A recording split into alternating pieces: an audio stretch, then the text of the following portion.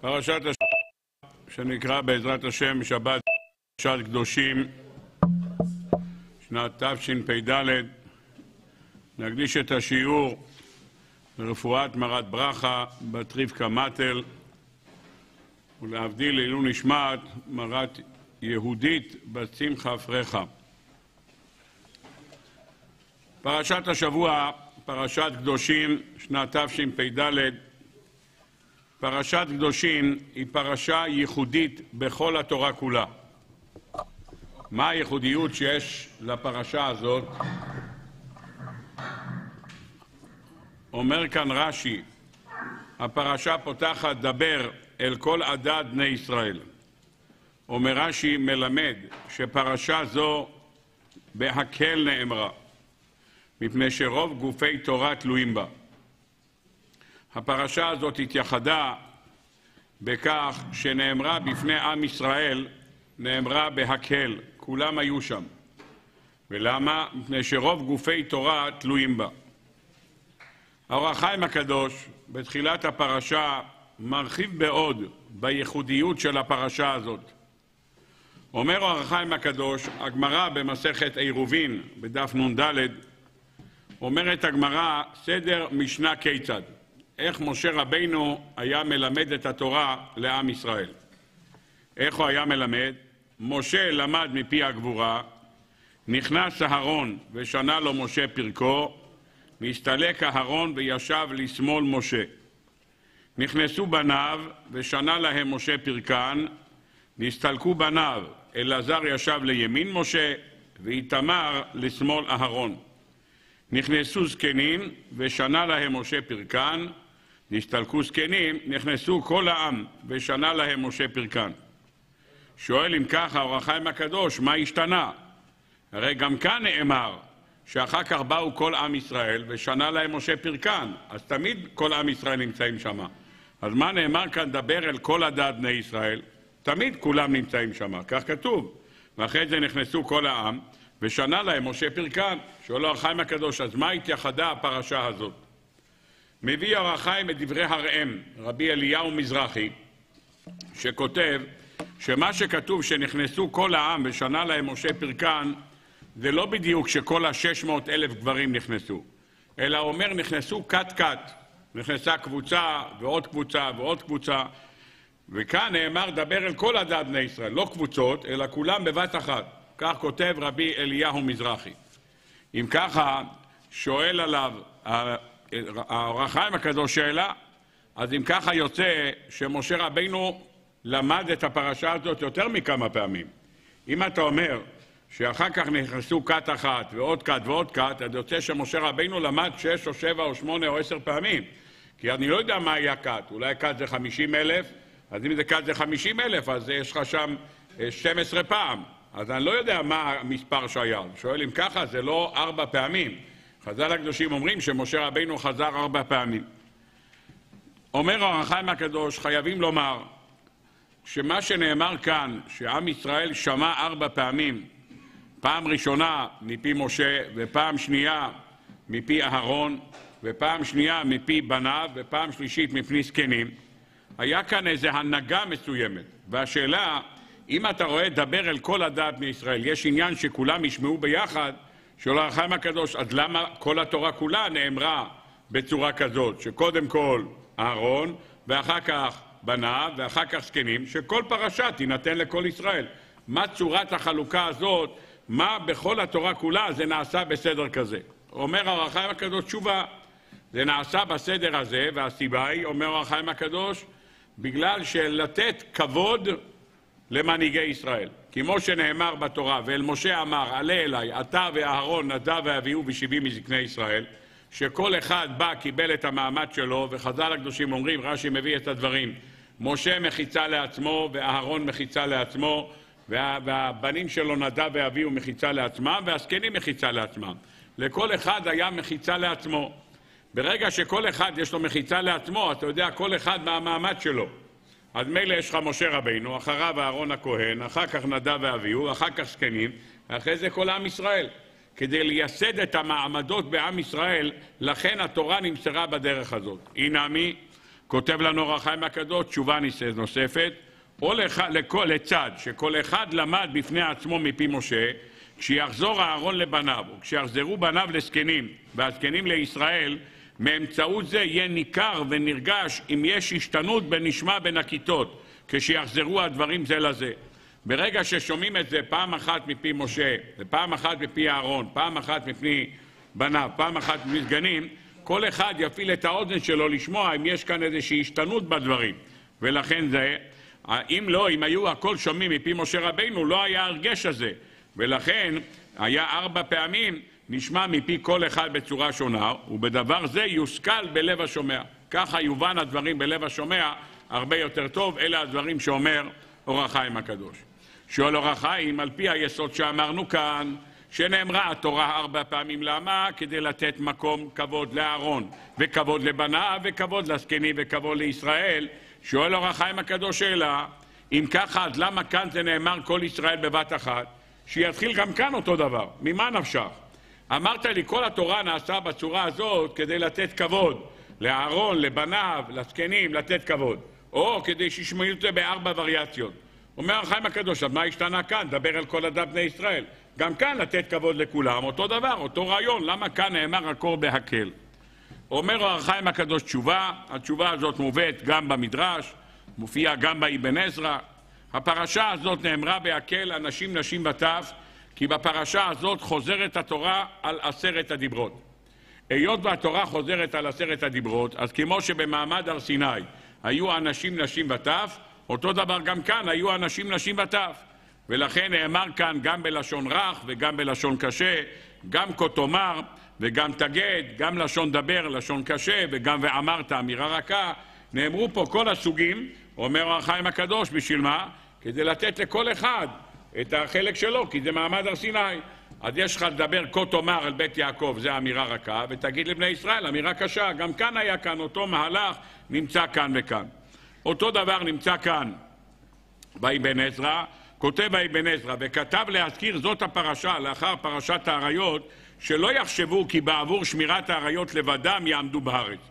אמר להם שגם יש מצוות נוספות, זה לא רק המצווה הזאת, יש עוד מצוות נוספות. מה המצוות הנוספות? אם לא תשמרו, תגורשו מן הארץ. והם עשרת הדברים הנזכרים. וכאן מונה האבן עזרא את עשרת הדיברות. מונה כי הנה הזהיר על עבודת כוכבים, אחר שאמר כי קדוש אני, הוא כנגד הדיבור הראשון על דעת רבים. ולא תשבו בשמי לשקר, וכנגד דיבור לא תישא את שם השם אלוקיך לשווא. ואת שבתותיי תשמורו, כנגד זכור את יום השבת. איש אמו ואביו תיראו, וכנגד דיבור קבל את אביך ואת אמך. לא תעמוד על דם רעך, וכנגד לא תרצח. וכך הוא אומר, כל הדיברות כולם כתובים כאן בפרשה.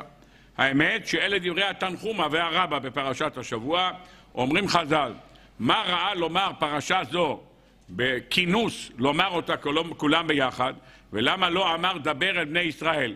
בשאר הפרשיות, אליו, כמו שכתוב בשאר הפרשיות, וכאן כתוב אל כל עדת בני ישראל, לפי שכל הדיברות תלולים בה. בפרשה הזאת תלולים כל עשרת הדיברות. איפה? הדיברה הראשונה, אנוכי השם אלוקיך, כאן אני השם אלוקיכם. הדיברה השנייה, לא יהיה לך אלוהים אחרים על פניי, וכאן אל תפנו אל האלילים.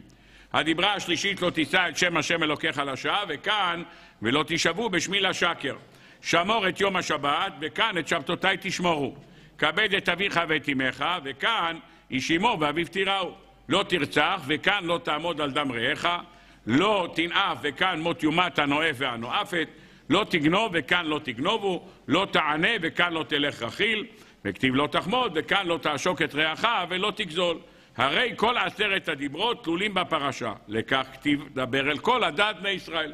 כמו שמעמד הר סיני היו כולם ביחד, אותו דבר גם כאן, כולם ביחד. עד כאן דברי המדרש, כך מביא גם אור החיים, כך מביא גם אבן עזרא, וכולם כותבים, גם הכלי יקר, כולם הולכים באותו קו. אז כך שבאה שאלה חדשה, אז למה צריך לחזור על עשרת הדיברות? אם אתה אומר שהפרשה הזאת דבר אל כל הדת בני ישראל, למה נאמרה? כי חוזרים על עשרת הדיברות. הבנתי, אבל למה צריך לחזור על עשרת הדיברות? כבר יש לנו את עשרת הדיברות. למה צריך לחזור? שאלה נוספת שיש לשאול, בעשרת הדיברות נאמרו הדיברות בלשון יחיד. אנוכי השם אלוקיך אשר הוצאתיך מארץ מצרים. לא יהיה לך אלוהים אחרים על פניי. לא תישא הכל מופיע ביחיד, לא תרצח, לא תגנוב, הכל מופיע ביחיד. פרשת השבוע, הכל ברבים. אני השם אלוקיכם, אל תפנו אל האלילים, לא תשבעו בשמי לשקר, איש יבוא ואביו תיראו, לא תעמוד על דם... התורה מדברת הכל ברבים. מה השתנה? השאלה הזאת כתובה בזוהר הקדוש. אומר הזוהר שהפרשה הזאת נאמרה, נאמרה ברבים, בפעמד הר סיני נאמר ביחיד, לפי שבמעמד הר סיני היו כולם מאוחדים ומלוכדים. כמו שנאמר, והתייצבו, אומרים חז"ל, כאיש אחד בלב אחד. היות וכולם היו שם ביחד, היות והיה אחדות ביניהם, לכן נאמרה התורה בלשון יחיד. כאן אומר, ה, אומר הזוהר הקדוש, כאן כבר התורה נאמרה כשעם ישראל היה בהם פירוד, עם ישראל כאן זה נאמר כבר לאחר חטא העגל, והיה ביניהם פירוד, היות והיה ביניהם פירוד, לכן זאת הסיבה שמה? זאת הסיבה שנאמר כאן בלשון רבים. אלה דברי הזוהר הקדוש. ראיתי פעם ביאור נפלא נוסף, לא זוכר בשם מי, שאמר שהסיבה שהקדוש ברוך הוא חזר כאן בלשון רבים, כי משה רבינו השמיע לקדוש ברוך הוא טענה בחטא העגל, שהסיבה שעם ישראל חטא בחטא העגל, היות ומשה רבינו שמע את עשרת הדיברות בלשון יחיד. הוא אמר, אנוכי השם אלוקיך אשר הוצאתיך מארץ מצרים בבית עבדים. לא יהיה לך אלוהים אחרים על פניי. אמר משה רבינו, דיברת אליי, עם ישראל חשב שאתה מדבר אליי. היות והוא חשב שאתה מדבר אליי, אז הוא לא חשב שיש להם איסור לעבוד עבודה זרה. כי דיברת בלשון יחיד. אנוכי השם אלוקיך, לא יהיה לך אלוהים אחרים על פניי. לכן הם חטאו. אמר לקדוש ברוך הוא ככה, אתה חושב שזאת הייתה הסיבה? אז אני אחזור על זה עכשיו בלשון רבים, שידעו גם בלשון רבים. לכן נאמר כאן בפרשת השבוע, אל תפנו אל האלילים בלשון רבים. כתוב בתורה, איש אמו ואביו תיראו בלשון רבים. זאת תשובה נוספת שכתובה בדברי רבותינו. הייתי רוצה ללכת לכיוון אחר, וממנו להיכנס לתוך נושא, בעזרת השם, שיהיה לנו מהווה המשך לשיעור בשבוע שעבר, ובעזרת השם נסגור גם את הפינה הזאת ונראה, אולי נמשיך עם זה גם בשבוע הבא. דבר ראשון, בואו נראה יסוד נפלא. הרמב"ן בפרשת השבוע אומר לנו כלל, שאיפה שכתוב קדוש זה לא דבר שאתה מחויב בו. פירוש הדבר, אולי אני אסביר, זה דברי הכלי יקר במקום. קדוש, אם אדם לא אוכל חזיר, הוא לא נקרא קדוש. למה הוא לא נקרא קדוש? כי יש איסור לאכול חזיר. במה הוא נקרא קדוש? שהוא מפריש את עצמו מדבר שמותר. הוא מקדש, מה זה קדוש? קדוש עכשיו מובדל, מופרש, זה הכוונה. במה הוא מובדל מופרש? כשהוא עושה דבר שהוא לא מחויב, והוא עושה אותו, בזה הוא נקרא קדוש. אז הרמב"ן הולך בקו, אמנם יש, גם מלאכים נקראים קדושים, גם הם נקראים מופרשים. קדוש ברוך הוא נקרא קדוש, הוא מופרש, אתה קדוש, זה שמך קדוש, וקדושים בכל יום יעלו לך סלע. הכהנים נקראים קדושים, ואתם תהיו לי ממלכת כהנים וגוי קדוש. מה זה גוי קדוש? גוי מופרש, זה הכוונה. מופרשים מאומות העולם, מופרשים מאריות. הנושא שדיברנו בשבוע שעבר היה שני לאריות. מה זה שני הרעות? שמרתם את משמרתי. מה זה שמרתם את משמרתי? עשו משמרת למשמרתי. אומרת הגמרא במסכת יומא דף כ, זה שאסרו לנו, זה שאסרו לנו שניות לאריות, מאיזה דין זה ללמד? אומרת הגמרא, בגמרא בכ"א כתוב, לומדים את זה ממה? ושמרתם את משמרתי, עשו משמרת למשמרתי. בדף כ' אומרת הגמרא, לומדים את זה מקדש עצמך, במותר לך. על פי דין תורה, אסור לאדם להתחתן עם אמא שלו. אבל הוא יכול להתחתן עם הסבתא שלו. על פי דין תורה מותר לו להתחתן עם הסבתא שלו. באו חכמים ואסרו להתחתן עם סבתא. למה? מדין שניות לאריות. מאיפה לומדים את זה? קדש עצמך במותר לך. גם מה שמותר לך, אתה לא חייב להתחתן. ולכן, פרשו גם מזה, זה חלק מקדש עצמך במותר לך. אומר הרמב"ן, בוא נלמד דבר. בתורה הקדושה אין הגבלה כמה לאכול. אין הגבלה. אתה יכול לאכול כמה שאתה רוצה. אני לא מדבר על תהליך של זלילה. מדבר על אכילה, אתה יכול לאכול כמה שאתה רוצה. התורה לא מגבילה אותך באכילה. אתה יכול לאכול כמה שאתה רוצה. אתה יכול לאכול כמה שאתה רוצה, אבל אתה לא חייב לאכול כמה שאתה רוצה. אתה יכול לעצור את עצמך, אתה לא חייב לאכול כמה שאתה רוצה. פירוש הדבר, התורה נתנה לך את האפשרות למדוד בעצמך כמה אתה צריך למחיה שלך. אומר הרמב"ן, קדש עצמך במותר לך. במה הכוונה קדש עצמך במותר לך? אתה יכול לאכול כמה שאתה רוצה. כתוב במשנה במסכת אבות, פת במלח תאכל ומים במשורה תשתה ועל הארץ תישן. כן? מה זה? זה כדי לקנות קניין תורה. מה אתה עושה בן אדם שלא מסוגל ללמוד תורה אם הוא אוכל פת במלח תאכל ושותה מים במשורה? לא, לא מסוגל. אז מה, אסור לו לאכול יותר? אסור לו לאכול יותר? הוא אוכל פת במלח תאכל ומים במשורה תשתה. מה קורה לו? כשהוא עושה את הדבר הזה, התוצאה, מה הוא עושה? כשהוא עושה את הדבר הזה, הוא פשוט לא יכול אחר כך ללמוד. והיות והוא לא יכול אחר כך ללמוד, אז מה קורה? הוא מתנתק מלימוד התורה. אומרת הגמרא במסכת תענית דף י"א, ריש לקיש אמר, אין תלמיד חכם רשאי לשבת בתענית. למה? מפני שממעט במלאכת שמיים. למה? הוא לא עושה את העבודה שלו כמו שצריך. אומרת הגמרא, השב בתענית, לאכול כלבה לשירותי. יאכל הכלב, יאכל את הסעודה שלו. אין בזה שום תועלת בזה שהוא לא אוכל. למה? שהכלבים יאכלו. מה אתה חושב? עשית משהו. על ידי שאתה לא אוכל, המוח שלך לא קולט את הלימוד תורה. אז כל אחד צריך לשער בעצמו. קראתי שרב נוחם שדיקר, היה לו מנהג שהוא צם שלושה ימים מעת לעת, מראשון עד שלישי בערב. 72 שעות הוא צם. צם, לא אכל ולא שתה. לא הפריע לו לעבודת השם, עבד את עבודת השם בלי, בלי שום בעיה. יפה מאוד. יום אחד, שלישי אחרי צהריים, הבן שלו בא לבקר אותו, וראה שהוא נטל ידיים לסעודה, שלישי אחר הצהריים.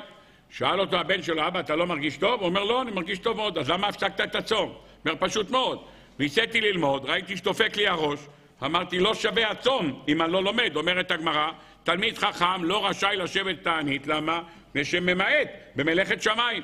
אם אני לא ממעט במלאכת שמיים, אז אני יכול, אבל אם אני ממעט במלאכת שמיים, אסור לי לעשות את זה. ולכן אומרים לנו רבותינו, דע לך, שהתפקיד של האדם לבחון את עצמו, כמה הוא צריך לאכול, כדי שמה? שיוכל להתקיים. אם הוא אוכל יותר מזה, הוא לא מקיים את המצווה של קדש עצמך במותר לך. פירוש דבר, אדם צריך להפריש את עצמו, ואדם צריך לשער בעצמו מה הוא צריך לאכול. עד יש אחד שצריך לאכול את המינימום, מה הוא צריך לאכול? אתה נותן לו סלט ירקות, ואוכל את זה, ומספיק לו הדבר הזה. יש אחד צריך לאכול ידיים ולאכול שלוש פרוסות, זה הסעודה שלו. ויש אחד שצריך לאכול גם חביתה נוספת לזה, אז הוא אוכל גם חביתה, כל אחד בעצמו הוא משער מה הוא יכול לאכול ומה הוא לא, מה הוא צריך לאכול כדי להתקיים. כתוב במאי איש של החזון איש, כתוב שעתז טבע לדין את הבח. עתז היה חתן אצל הבח, והוא טבע לדין תורה את הבח. למה הוא טבע לדין תורה את הבח? כי הבח, חותן שלו, התחייב לו שהוא ייתן לו, הוא לוקח אותו לחתן, והוא ייתן לו לאכול בכל יום בשר.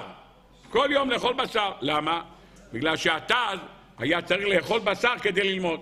היה צריך לאכול בשר, היה חייב לאכול בשר כדי שיהיה לו כוח ללמוד. אז לכן מה? לכן זאת הסיבה ש... שהוא אכל בשר. לימים, לא היה לו יותר כוח, לא היה לו יכולת לממן את הבשר, היות ולא היה לו כוח לממן את הבשר, אז הוא הפסיק את הבשר. אז מה הוא עשה? הוא קנה ריאות, ובישל את הריאות, ואכלו מרק של ריאות. תבע אותו התת לדין תורה. אמר לו, התחייבת לתת בשר, לכאורה ריאות זה לא בשר, והוא תבע אותו דין תורה. כך מופיע בספר מעשה איש. שאלו אותו, תגיד, איך אתה עושה דבר כזה שאתה תובע את החותן שלך, אתה תובע את הבח לדין תורה? אמר לו, לא סתם אני תובע אותו לדין תורה. למה? אם אני לא אוכל בשר, אני נחלש בעבודת השם שלי. נחלש בעבודת השם ולא יכול ללמוד כמו שאני צריך ללמוד, אז אני לא יכול ללמוד. אם אני לא יכול ללמוד, אז מה יהיה? יתבעו אותו על זה שהוא לא נתן לי בשר, שאני לומד פחות. לכן הלכתי לבית דין, תבעתי אותי דין תורה, קבעו בבית הדין שמה? שגם מרק ריאות, גם הוא נחשב לבשר. אם הוא נחשב לבשר ואני לא לומד מספיק טוב, זה בעיה שלי, זה לא בעיה שלו. כדי לחלץ אותו מדין בשמיים, אז זה כשכביכול אני לומד פחות טוב, לכן הלכתי ותבעתי אותו לדין תורה על הדבר הזה. זאת אומרת שכל אחד ואחד בעצמו משער. אומר הרמב"ן, אין לך מידה בתורה כמה אדם צריך לאכול. כמובן לא כדי זלילה, אבל כמה תאכל? אחד אוכל כך, אחד אוכל כך, כל אחד במידה שלו. אומר הרמב"ן, קדושים תהיו, דורשת ממך התורה, קדש עצמך במותר לך. אתה לא חייב לאכול הכל. מובטח לך שאם תבוא לשמיים אחרי 120 שנה, ישאלו אותך למה לא אכלת סושי, תגיד להם, הסתדרתי בלי סושי, אכלתי ברוך השם שניצל ויצאתי ידי חובת הרחוחה גם בלי סושי, לא יתבעו אותך. אם תבוא לשמיים, תשאלו אותך למה לא אכלת אוכל סיני, תגיד, ברוך השם, הסתדרתי עם חווייג' התימני, ברוך השם, יצאתי ידי חובה, גם במרק התימני יצאתי ידי חובה. לא תהיה עליך תביעה, למה לא אכלת את הדבר הזה. אה, תגידו לי מה? כתוב בירושלמי בסוף מסכת קידושין, שעתיד אדם לעמוד בדין על כל מה שיכל ליהנות מהעולם הזה, ולא נענה. אז כבר אמר פעם יהודי גדול, אם ישאלו אותך למה לא יכלת ליהנות מהעולם הזה ולא נהנית, יש 15 שאלות שצריך קודם לענות. קבעת עיתים לתורה, נתת ונתת באמונה. אם על כל השאלות קודם יש לך חיובי, השאלה הזאת תוותרו לך, זו לא תהיה הבעיה. הבעיה הקשה תהיה בשהשאלות הראשונות ששואלים את האדם. נתת ונתת באמונה, קבעת עיתים לתורה, עסקת בפריה וריביה, כל מה שהגמרא מביאה במסכת ברכות, מסכת שבת, מה שאדם שואלים אותו לאחר פטירתו מן העולם. לכן, בדברים האלה לא תובעים אותך. אומר הרמב"ן, יין אין מצווה לשתות אחרי האוכל. אין מצווה לשתות לא יין לבן ולא יין אדום. אתה לא מצווה לשתות, אתה רוצה לשתות, אתה יכול לשתות. אבל אל תשכח שבסוף אתה תהיה בסובי יין. תסתכל מה קרה לנוח מהיין, תסתכל מה קרה ללוט מהיין. לכן מה? אומר, אתה רוצה לשתות יין, תשתה, אבל צריך לדעת במידה ובמשורה. שמה? שלא תשתה, בסוף תשתכר, תראה מה קרה לכל השיכורים האלה. אז מה צריך לעשות? אתה רוצה לשתות יין אחרי ארוחה, כי הרופא אמר זה טוב ללחץ דם, אני יודע מה, זה מוריד לחץ דם, תשתה חצי כוס, מה שנקרא, ושלום על ישראל, אתה לא צריך לגמור בקבוק בסיעה טובה. אז לכן, זה התביעה, אומר הרמב"ן, קדש עצמך במותר לך, כל אחד ואחד יקדש את עצמו בדבר שהוא אוכל. האכילה שלך, תבדוק מה אתה צריך לאכול, וזה הדבר שאותו אתה צריך לקדש. עד כאן דברי הרמב"ן. לאחר שלמדנו את זה, הייתי רוצה קצת לעמוד בסייעתא דשמיא, לעמוד בדברי רבותינו. בא הספר בים דרך, בפרשת השבוע, ואומר יסוד מאוד מאוד יפה, להבדיל בין מה שנאמר בעשרת הדיברות לשון יחיד, וכאן נאמר בלשון רבים, כאשר התורה כאן מדברת על פי דברי הרמב"ן, בקדש עצמך ומותר לך. אומר הרב בים דרך תשובה מאוד יפה, ננסה לפשט אותה ולהרחיב אותה בסייעתא דשמיא. רבותיי, בעשרת הדיברות, כאשר התורה אומרת לך בעשרת הדיברות, לא תרצח איש, אישה, קטן, גדול, כולם באותה מצווה. כאשר התורה כותבת לך, לא יהיה לך אלוהים אחרים על פניי, לא תעשה לך פסל וכל תמונה, מדובר על איש, אישה, תינוק ותינוקת, כולם אותה הלכה. כאשר התורה מצווה אותך לשמור שבת, כולם באותו מצווה, אין שינויים במצוות, כולם אותה מצוות. אבל יש דברים שהתורה משנה בין אחד לשני. משנה. בואו ניקח דוגמה, בעזרת השם בסייעתא דשמיא. כאשר התורה כותבת בעשרת הדיברות פרשת יתרו, לא יהיה לך אלוהים אחרים על פניי, לא תעשה לך פסל וכל תמונה, אשר בשמיים ממעל ואשר בארץ מתחת. לא תשתחווה להם ולא תעבדם. אני רוצה לשאול שאלה, מותר להסתכל על עבודה זרה? מותר להסתכל על עבודה זרה. אתה הולך ברחוב, יש לך עבודה זרה. מותר להסתכל? מה? מה זה כן ולא? כן או לא? על פי מה שהתורה כותבת בפרשת יתרו, אני חוזר שוב על הפסוק, לא יהיה לך אלוהים אחרים על פניי, לא תעשה לך פסל וכל תמונה אשר בשמיים ממעל ואשר בארץ מתחת, לא תשתחווה להם ולא תעבדם. כתוב פה שאסור להסתכל? לא, לא כתוב. כתוב לא תשתחווה להם ולא תעבדם. באה התורה, וזה ציווי לכולם, זה לא משנה איש, אישה, שום דבר, ציווי לכולם. באה התורה בפרשת השבוע, את אותו ציווי, ומשנה לך אותו. אומרת התורה, אל תפנו אל האלילים. מה זה אל תפנו אל האלילים? פירוש הדבר, זה המצווה הזאת אל לגדר. מה פירוש? כמה התרחק מן האלילים? מה המצווה? תתרחק מה שיותר. מה שיותר תתרחק. אומר אחינו חש י"ג, ובגדר מצווה זו שלא לפנות אחר עבודה זרה, לא במחשבה ולא בדיבור, ואפילו לא בראייה בלבד. אפילו להסתכל, גם זה אסור לך, בראייה. באיזה ראייה? אם אתה הולך ברחוב ויש שם עבודה זרה, אל תסתכל על זה, אל תסתכל. מה הגדר הזה? אל תפנו אל האלים. מה הגדר של אל תפנו? ראית, ראית, אבל מה שנקרא להתבונן, הסתכלות עמוקה, ודאי שאסור, אסור להסתכל על זה, הסתכלות עמוקה, אסור לך לראות את זה. רבותיי, בואו נלמד דבר יפה. בואו נראה כאן דבר נפלא שמופיע בהלכה. הלכות שבת, אומרת הגמרא מסכת שבת, תנו רבנן, המהלך תחת הצורה ותחת הדיוקנאות, אסור לקרות בשבת. מה שנקרא שטרי אדיוטות, כיתובים, מתחת לזה, אסור לקרוא את זה. ודיוקנה עצמה, היא הצורה עצמה, אף אסור בכל אסור להסתכל בה. למה? משום אל תפנו אל האלילים. מה תלמודה? מה כתוב כאן? אמר רב חנין, אל תפנו אל מדעתכם. שלא תפסיקו לחשוב רגע אחד על הקדוש ברוך הוא. נפסק בשולחן ערוך, סימן ש"ז, מליצות ומשלים של שיחות חולין ודברי חשק, כגון ספר עמנואל, וכן ספרי מלחמות, אסור לקרוא בהם בשבת, ואף בחול משום מושב ליצים, ועובר משום אל תפנו אל האלילים. אתה מפנה את הקדוש ברוך הוא מהלב שלך, אז זה חלק מאל תפנו אל האלילים.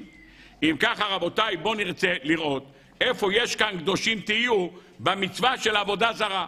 אם אתה אומר שמה? שאסור לחשוב על עבודה זרה, ואסור לדבר על עבודה זרה, ואסור להסתכל על עבודה זרה, כמו שאומר החינוך, איך אתה מוצא קדושים תהיו בעבודה זרה? דוגמה אחת, רק לא יותר. רבותיי, אם יש לך מטבע, מטבע שיש עליו צורה של עבודה זרה, יש לך מטבע, יש עבודה זרה. כן? יש לך מטבע עם צורה של עבודה זרה. מותר לך להסתכל על העבודה הזרה הזאת? מטבע עם עבודה זרה. אתה לא גר בארץ ישראל, אתה גר בהודו. בהודו עדיין אין כרטיסי אשראי. אתה משלם בכסף מזומן. על המטבעות שמה יש ציור של כל מיני עבודות זרות. יש שמה, לא יודע איך קוראים להם, תשאלו את אלה שהיו בנובה, יש להם גם שם היה כזה מין פרצוף. יפה מאוד. אז יש שם פרצופים כאלה, יפה מאוד. הפרצופים האלה, מותר להסתכל עליהם או לא? מותר להסתכל עליהם או לא?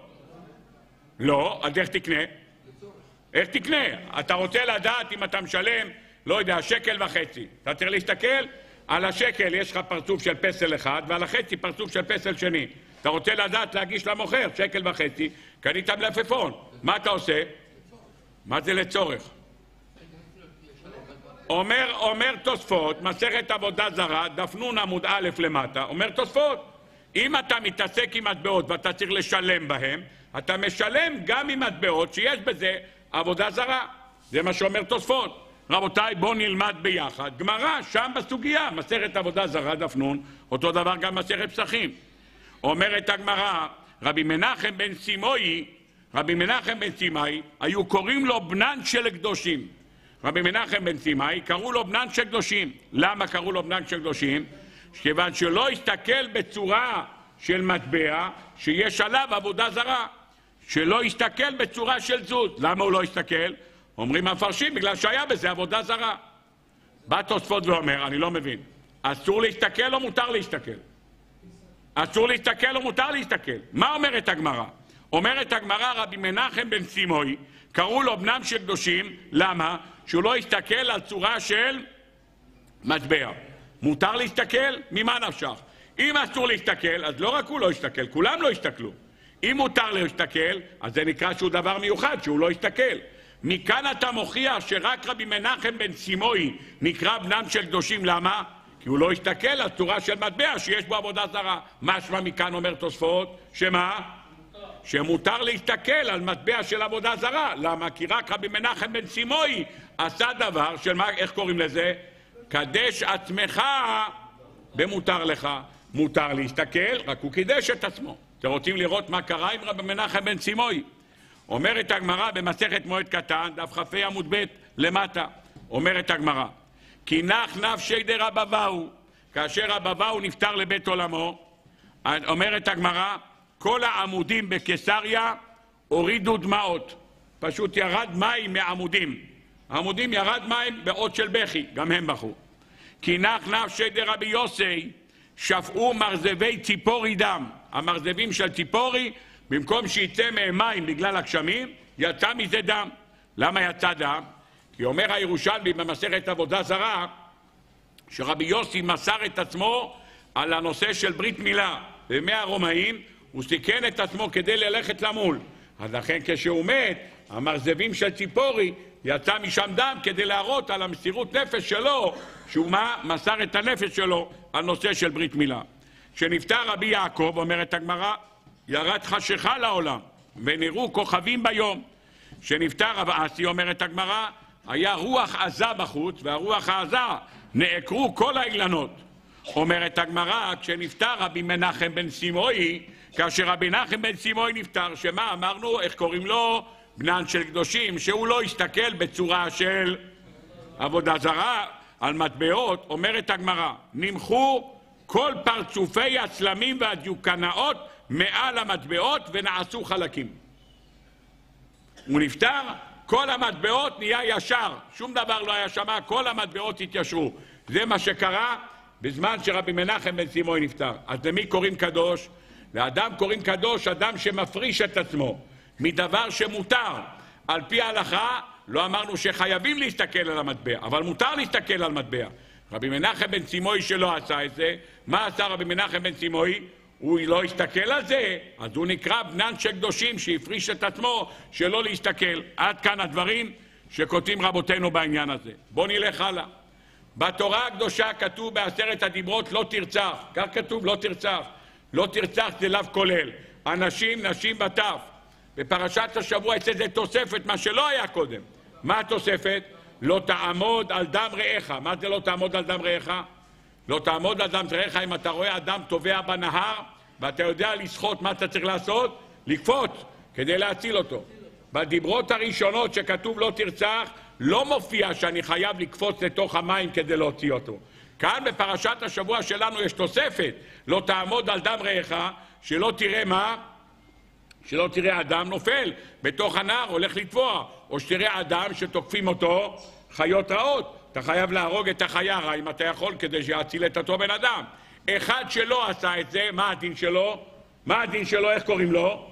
רוצח, זה השם שלו. פירוש הדבר שברגע שבן אדם עושה את הפעולה הזאת, הפעולה הזאת שהוא עושה, נקראת הצלה. אם הוא לא עשה, עד שלא קראנו בפרשת השבוע, זה לא נקרא רוצח. בפרשת השבוע שנאמר לא תעמוד על דם רעך, נוסף לך עוד שלב אחד, שנקרא בשם הצלת נפשות של בן אדם. עד כאן הדברים בסייעתא דשמיא. אם ככה, אחרי שלמדנו את היסוד הזה, נוכל להבין דבר נפלא. מעמד הר סיני נאמר בלשון יחיד. למה בלשון יחיד? כי מעמד הר סיני כולם שווים. אין הבדל בין איש לאישה, בין זכר לנקבה, כולם שווים.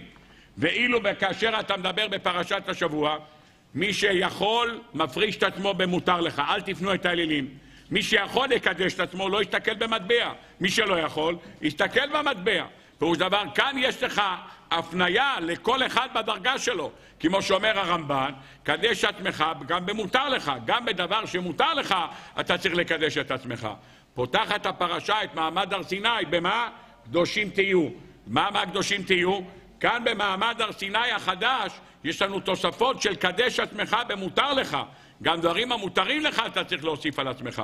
אומר הרמב"ן באכילה, בשתייה, בדיבורים, לא לשתות יין, לא לדבר סתם דברים בטלים. כל הדברים האלה באים לידי חשבון, אלה הדברים שכותב הרמב"ן בפרשת השבוע. לאחר שלמדנו את היסוד הזה, בואו נראה מה כותב הכלי יקר. אומר הכלי יקר יסוד נפלא. במעמד הר סיני מצאנו מעין הפתיחה של פרשת השבוע. איך פותחת הפרשה? אומרת הפרשה, קדושים תהיו. מה זה קדושים תהיו? מופרשים תהיו, תבדילו את עצמכם. אומר הכלי יקר, אל תשכח שמעמד הר סיני בפרשת יתרו נאמר אותו דבר. איך נאמר? ואתם תהיו לי ממלכת כהנים וגוי קדוש. אומרת התורה שם, כולם צריכים להיות ממלכת כהנים וגוי קדוש. למה הקדים את זה? אומר הכלי יקר, כמו שהקדים במעמד הר סיני, אתם תהיו לי ממלכת כהנים וגוי קדוש, גם בפרשת השבוע שלנו פתחה הפרשה בקדושים תהיו. על כן הקדימה קדושה לחבב עליהם המצוות לומר שעל ידיהם יזכו למעלת הקדושה ואל תאמר שהקדושה מילתא זוטרתא היא שלא תגיד הקדושה זה לא דבר גדול כי קדוש אני הקטון, הוא אומר, הקטון בעיניכם לדמות הצורה ליוצרה זה דבר קל בעיניכם לדמות את האדם לקדוש ברוך הוא. הקדוש ברוך הוא קדוש, אתה קדוש ושמך קדוש, אז הקדוש ברוך הוא קדוש. אם אתה מפריש את עצמך מכל העניינים האלה, אתה גם נקרא קדוש. אומר הכלי יקר, קטן בעיניך שאתה מפריש את עצמך בעניינים ואתה תקרא קדוש. ורבותינו ז"ל אמרו, כל מקום שתמצא גדר ערווה, שם תמצא קדושה.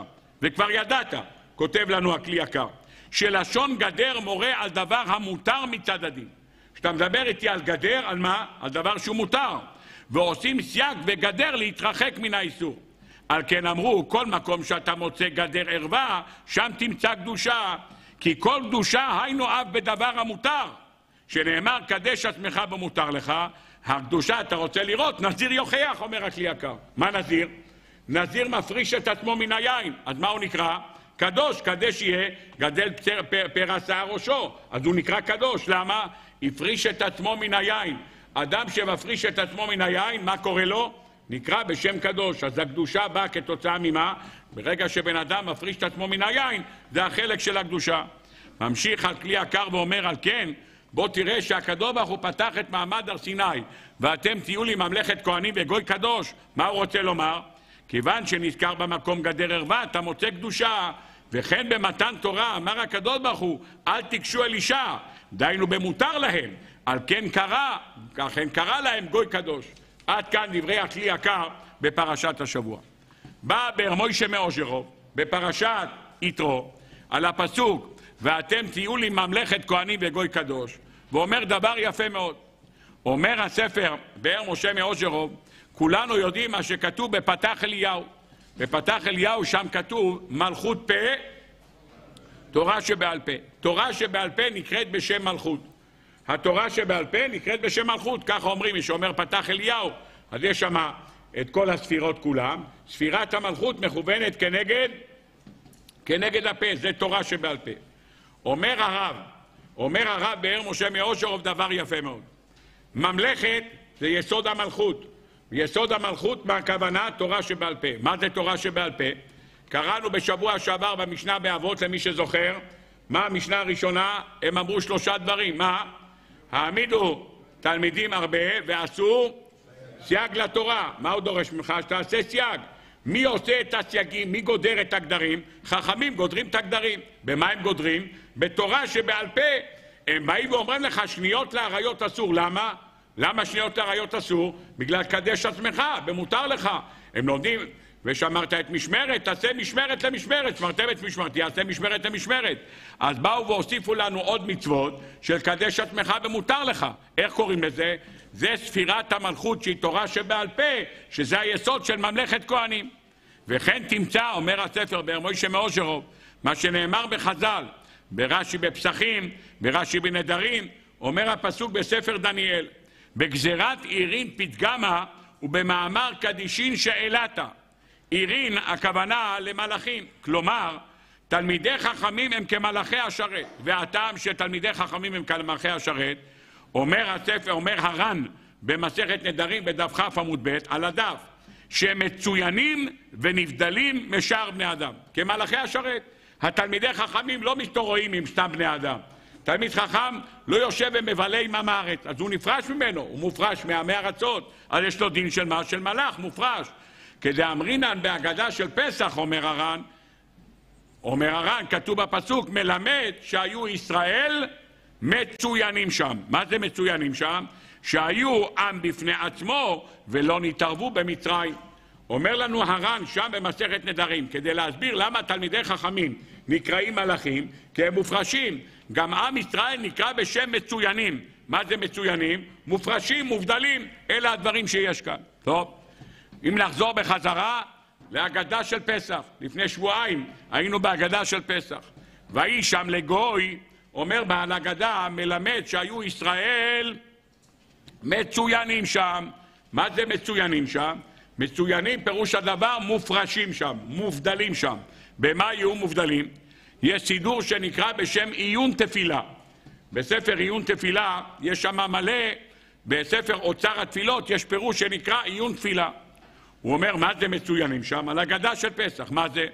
שלא נתפרדו זה מזה בכל ערי מצרים, אלא נתאספו כולם במקום אחד, בעיר אחת, כגוי בפני עצמו. עם ישראל במצרים חי בגושן. גושן זה מקום נפרד. שם חיו עם ישראל, הם לא התערבו ביחד עם המצרים. וכן כיוון השר דון יצחק אברבנאל, הכוונה פירוש אברבנאל, שהיה שם אומה נבדלת ונפרשה מהמצרים ולא נתערבו בהם. ולכן מה? הם לא נתערבו בתוך מצרים וישבו בפני עצמם בנפרד. ולכן לא שינו את שמותם ולשונם ודתם ומלבושיהם. אומר, ובויקרא רבה פרשה ל"ב, כתוב משהו אחר. רב הונא בשם בר כפרה אמר, בשביל ארבעה דברים נגאלו ישראל ממצרים, שלא שינו שמם ולשונם, ולא אמרו לשון הרע, ולא נמצא אחד מהם פרוץ ואריות. אבל דתם ומלבושיהם לא כחשים. לא מופיע פה לא שלא שינו דתם ולא שינו מלבושיהם. זה לא מופיע. אז איפה זה מופיע? הכל בו כותב שהיו מצוינים שם בלבושיהם, כדי שלא יתערבו עם מצרים.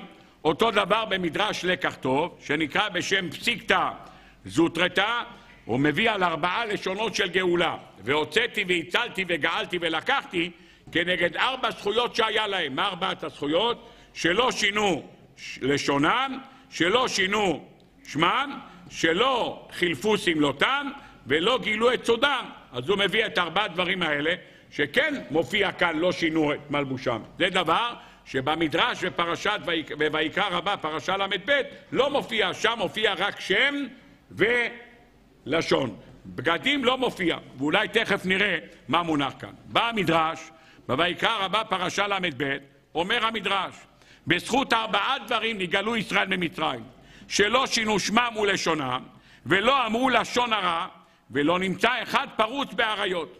שלא שינו שמם, לראובן ושמעון נחתין, ראובן ושמעון צלקין. ירדו עם השם ראובן ושמעון, וחזרו איתו בחזרה, ראובן ושמעון. לא שינו אותו.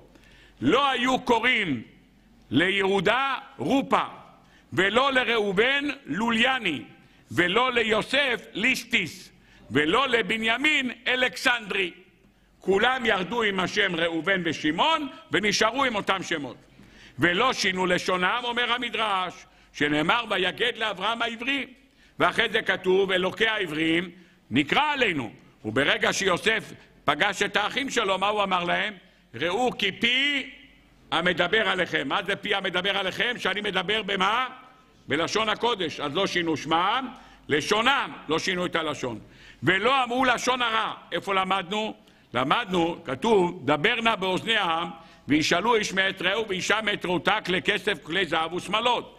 והיה הסוד הזה מופקד אצלהם י"ב חודש, ולא הלשין אחד על חברו. ידעו לסגור את הפה ושמרו סודות, ולא אמרו דתורים, כל אחד שמר על סוד.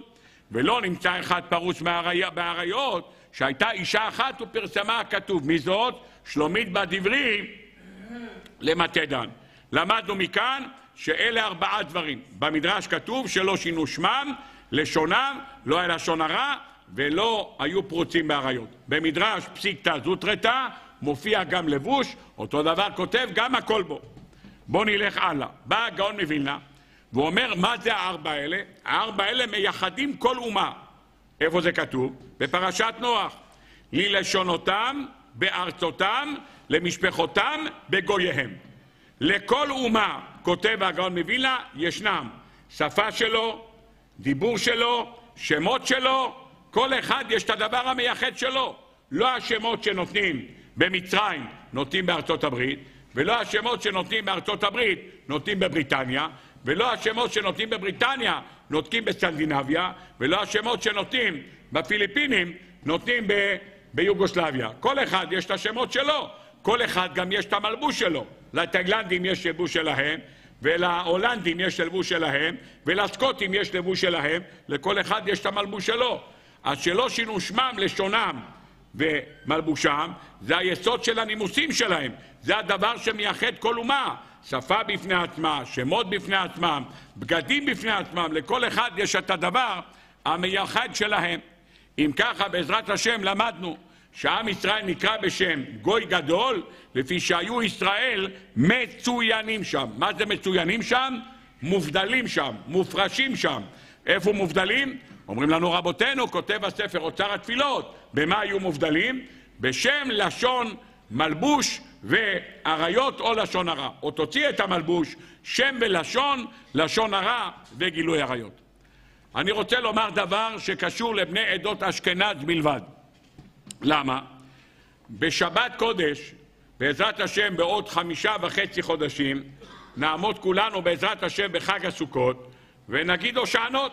יפה מאוד. שנאמר את השענות, כל יום יש לו את ההושנה שלו. בשבת קודש, בבני עדות המזרח לא נוהגים לומר הושענות. לא אומרים הושענות. בני עדות אשכנז אומרים הושענות. מישהו אמר לי שאצל מרוקאים מקזבלנקה כן אמרו הושענות בשבת. אני לא יודע לאשר או לא, מקודם מישהו אמר לי בשיעור שאצל מרוקאים מקומות מסוימים נהגו לומר הושענות גם בשבת קודש. אצל האשכנזים אומרים הושענות בשבת קודש. אני רוצה להקריא שתי בתים, זה הכל. כהושעת אדם יציר כפיך לגוננה, בשבת קודש אמצתו כופר וחנונה, כן הושענה. מה זה, מה מדבר פה? הקדוש ברוך הוא הושיע את אדם הראשון וגונן עליו. במה? הקדוש ברוך הוא אמר לו, ביום אוכלך ממנו מות תמות, והוא לא מת, הוא לא מת. בשבת קודש עם צאתו כופר וחנינה. הקדוש ברוך הוא אמר לו ביום אוכלך ממנו, הוא לא הרג אותו באותו יום, וגם לא ביום למחרת, שבת קודש, הוא לא פגע בו. כששמע האדם הראשון מה כוחה של תשובה, מה הוא אמר? מזמור שיר ליום השבת. פירוש הדבר, אתה הוצאת את האדם הראשון בשבת קודש עם צאתו כופר וחנינה, כן הושענה, כך תיתן גם לנו כופר וחנינה בשבת. כן הושענה. לכן פתח האדם הראשון ואמר מה? מזמור שיר, יום השבת, גם אנחנו אותו דבר. בואו נראה את הבית הבא. כהושעת גוי מצוין, כהושעת גוי מצוין, מה השלב הבא? מקווים חופש, דעה כיוונו לבור שביעי לנופש, כן הושענה. מה כתוב כאן? כהושעת גוי מצוין. מי זה נקרא גוי מצוין? למי זה גוי מצוין? עם ישראל נקרא גוי מצוין. למה? לפי שכתוב, ויהי שם לגוי גדול עצום מלמד שהיו ישראל מצוינים שם, כך אמרנו בליל הסדר, שהיה מלבושם ומאכלם ולשונם משונים מן המצרים, מסומנים היו, ויודעים שהם גוי לבדם חלוקים מן המצרים. פירוש דבר הם היו מובדלים מן המצרים. זה נקרא בשם גוי מצוין. מקווים לחופש. מה זה מקווים לחופש? שהיו מקווים ומצפים בזכות ארבעה דברים, שהם לא יתערבו במצרים לצאת לחופש. דעה כיוונו לבור שביעי לנופש, זה משה רבינו כשהיה עוד אצל פרעה בבית, מה הוא ביקש מפרעה? שייתן לעם ישראל יום אחד חופש. מה בחר משה רבינו? שבת קודש, כותב הטור, לכן אנחנו אומרים בתפילה, ישמח משה במתת חלקו, כי עבד נאמן קראת לו. פירוש הדבר, שעם ישראל היה מובדל ממה? משם, מלבוש ולשון. אז זה נקרא גוי מצוין. עם ישראל מופרשים ומובדלים, בסייעתא דשמיא. אנחנו, בני עדות אשכנז, יש לנו עוד הושנה שאנחנו אומרים אותה במהלך השבוע. איך נקראת ההושנה? אום אני חומה, הושנה. הושנה, אום אני חומה, הושנה. מה זה אום אני חומה? אומרים שם המפרשים, אום זה מלשון אומה, זה הכוונה של אום. זה השמנה. מה זה אום אני חומה? שעם ישראל גדר את עצמו כחומה. במה הוא גדר את עצמו? שלא שינו שמם, לשונם ומלבושם. ועל זה נאמר גם בשיר השירים, אם חומה היא נבנה עליה, טירת כסף, אם דלת היא, נצור עליה לאורה אחרת. אני חומה ושדי גם מגדלות. פירוש הדבר, היות ועם ישראל תחם את עצמו, אם הוא תחם את עצמו, אז כל אחד ואחד היה מובדל, ידעת שזה יהודי. למה? הבגד שלו לא היה כמו בגד של מצרים, והלשון שלו לא הייתה לשון מצרית, הוא לא ידע לדבר במצרית, הוא ידע רק לדבר בלשון הקודש, אז ממילא אומר, כל אחד, הכרת שזה יהודי, זה נקרא גוי מצוין. לכן אתה אומר בשבת, כהושעת הגוי מצוין, זה הישועה של עם ישראל במצרים. בא הספר ענו ליעקב בפרשת וארא, ואומר דבר נפלא ביותר. כל אחד מהאבות גדר עבורנו את אחד הגדרים. מה אחד הגדרים? אני לא מדבר באריות שכתוב בחז"ל, שרה ירדה למצרים וגדרה את עצמה, נגדרו כל הנשים בזכותה. יוסף ירד למצרים ועמד בניסיון אשת פוטיפר, נגדרו כל הזכרים בזכותו. אז זה דבר שקשור לאריות. אבל בואו נראה מה אומר הספר ענו ליעקב. אברהם אבינו שמר על מה? על נושא של לשון. מאיפה אנחנו יודעים? כי בדור הפלגה, עד דור הפלגה כולם דיברו בלשון הקודש. כשהיה דור הפלגה, מה עשה הקדוש ברוך הוא? בלבל את השפה שלהם. אברהם אבינו נשאר עם הלשון הקודש, לכן הוא נקרא אברהם העברי. אלוקי העברים נקרא אלינו, הוא המשיך לדבר בלשון הקודש. אז הוא אומר, הדבר שהוא מסר את עצמו במה? בלשון קודש. עד כמה היה אברהם אבינו בדור הפלקה? בן 48 שנים. והוא גדר את עצמו כדי להמשיך לדבר בלשון הקודש, לא לדבר בלשון של אז. אז החלק הזה שלא שינו את לשונם, יש לנו אותו מאברהם אבינו. החלק שלא שינו את שמם, יש לנו מיצחק אבינו. למה? כתוב שיצחק אבינו חפר את הבארות של אבא שלו, מה כתוב בפסוק? ויקרא להם שמות כשמות אשר קרא להם אביו. אומר רבינו בכיי על זה. יש בזה התעוררות וקל וחומר, שאל ישנה אדם מדרך אבותיו, שהרי יצחק אפילו את שמות הבארות שקרא אותם אביו, לא רצה לשנות. ואולי בגלל זה שהקפיד כל כך שלא לעבור ולא לשנות מהדרך של אבא שלו ולקרוא את אותם שמות, לכן מצאנו שיצחק אבינו לא נשתמע שמו. מההתחלה ועד הסוף ניתן אותו שם. אברהם משתנה מאברהם לאברהם. יעקב השתנה מיעקב לישראל. הוא לא, הוא נשאר אותו דבר, יצחק מההתחלה ועד הסוף. למה? לפי שהקפיד יצחק אבינו לקרוא את השמות של הבארות, לכן המשיך אותו דבר. מה עשה יעקב אבינו? הוא חיזק את עניין הלבוש. איפה מצאנו שהוא חיזק את עניין הלבוש? כתוב בתורה אחרי מלחמת שכם, מה כתוב? שהזהיר יעקב את בניו ובני ביתו. הסירו את אלוהי הנכר אשר בתוככם, והיטהרו והחליפו שמלותיכם. יוצא שמה? הוא תבע לזרוק את הבגדים שלקחו כשלל בשכם, ולא ללכת עם בגדים של נוחים. אז אברהם אבינו הקפיד על מה? על הנושא של לשון. יצחק אבינו קבע על מה? נושא של שם. ויעקב אבינו קבע את הנושא של בגדים. אלה שלושת הדברים. בא הגאון רב מוישה פיינשטיין, זכר צדיק לברכה, בספר דרש משה, בפרשת ויגש, כאשר יעקב אבינו מתלונן בפני פרעה על השנים הרעות שהוא עבר. מה הוא אמר? שואל אותו יעקב אבינו, כמה ימי שני חייך? מה הוא עונה לו? אומר לו יעקב אבינו, מעט ורעים היו ימי שני חיי, ולא השיגו את ימי שני חיי אבותיי בימי מגוריהם. יעקב אבינו מתלונן בפני פרעה, שואל הרמב"ן, ולא ידעתי, תם הזקן אבינו, מה מוסר הוא שהתאונן אל המלך. אומר הרמב"ן, אני לא מבין, מה הסיבה שיעקב אבינו התלונן בפני פרעה? מה הוא מצא להתלונן? לא מצא לו איפה להתלונן, רק בפני פרעה? ככה שואל הרמב"ן במקום. וידוע מה שאמרו בעלי התוספות, שהיות ויעקב אבינו התלונן, הורידו לו משנות חייו כמה שנים? שלושים ושלוש שנים. בין כמה הוא חי? מאה ארבעים ושבע שנים. כמה זמן חי אבא שלו? מאה שמונים שנה. הוא חי פחות שלושים ושלוש שנים מאבא שלו. אומרים בעלי התוספות שתספור את התלונה שהתלונן יעקב אבינו בפני פרעה, תמצא שלושים ושלוש תיבות. ועל שלושים ושלוש תיבות האלה הורידו לו ממניין שנותיו שלושים ושלוש שנים, כולל השאלה של כמה ימי שני חייך, לפי שיעקב בא בפרצוף כזה חמוד, אז באה השאלה, לכן הורידו במניין שנותיו שלושים ושלוש שנים. בא הגאון רבי מוישה פיינשטיין, זכר צדיק וקדוש לברכה, בספרו דרש משה פרשת ויגש, ורוצה לומר דרך אחרת. יעקב אבינו לא בא להתלונן בפני פרעה. יעקב אבינו בא למסור לו הודעה, הודעה לפרעה. מה הוא אמר להגיד לו? תשמע, אדון פרעה, אנחנו הולכים לגור בגושן. אנחנו לא רוצים שום קשר עם השלטון המקומי. לא רוצים שום קשר איתך. לא רוצים שתיתן לנו הטבות, לא רוצים שתיתן לנו, תתערב לנו בתכנים, לא רוצים שום דבר. באנו לפה, מעדיפים מעט ורעים מאשר רבים וטובים. לא רוצים חיים טובים. לא רוצים להיות מחוברים לשלטון, לא רוצים לקבל שרים, לא חבר כנסת, לא חברים בשום מקום בבית אמינות שלכם, לא רוצים שום דבר. אנחנו מעדיפים לחיות חיי בדלנות, שום חיבור לא עם השלטון, שום דבר לא. אל תפסידו, ככה אתה מחובר לאוצר, אתה יכול לקבל תקציבים לישיבות, אתה יכול לקבל תקציבים למוסדות, אומר יעקב, אני מעדיף מעט ורעים, רק שלא תתערב לי בחינוך. לא רוצה התערבות בחינוך. אל תתערב לי בחינוך, אני מעדיף שיהיה לי חיים מעט ורעים. זה מה שהוא אומר לו.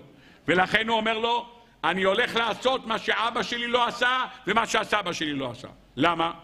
אומר הרב מוישה פיינשטיין, וקדם לו המשך חוכמה, תכף נראה. אומר הגאון רב מוישה פיינשטיין, אמר לו, מעט ורעים היו ימיי, ולא השיגו את ימי שני חיי אבותיי בימי מגוריהם. אומר לו יעקב אבינו, אני התבדלתי מכולם, ומזה סבלתי בחיים של מעט ורעים, בשונה מאבא שלי ושונה מסבא שלי. מה הם? הם היו מעורבים, הם היו חלק מהמעורבות. למה? כי אברהם פתח בתי תמחוי. אברהם מה עשה? והייתה אשל בבאר שבע. מה עשה באשל בבאר שבע? מה עשה? ויקרא שם בשם השם. את כולם הוא לימד מה? לימד אותם לעשות, לקרוא, להגיד ברכת המזון, לימד אותם על הקדוש ברוך הוא. אומר לו יעקב אבינו, יצחק אבינו המשיך את אותו דרך. וישב יצחק בארץ מגורי אביו. מה זה מגורי אביו? אומרים חז"ל, גיורי אביו. אברהם מגייר גרים, שרה מגיירת נשים. וישב יצחק בארץ מגורי אביו, המשיך את אותו תהליך של, של גיורים.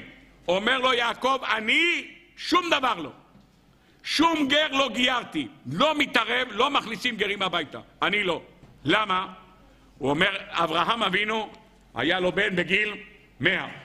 עד גיל מאה, שם נולד יצחק אבינו. במשך הזמן הזה, והייתה אשל בבאר שבע, הפיץ את דבר השם בעולם, חפר בארות. בשביל מה אברהם חפר בארות? עבד במקורות? בשביל מה הוא חפר בארות?